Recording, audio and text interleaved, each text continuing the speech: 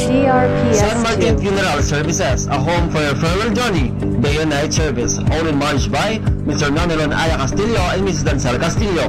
San Martin Funeral Services, Victoria Branch located at the Strong Republic Natural Highway, Poblacion 1, Victoria, Oriental, Mindoro, in front of Iglesia ni Cristo Church, with contact number 0912-775-7818 or 0994-253-0188. Main branch located at Barangay Panggulayan, Pinamalayan, Oriental, Mindoro, with contact number 0938-900-5139 or 0998-365-6044. We from San Martin Funeral Services offer you the best and quality services at a very affordable DRPS2. prices.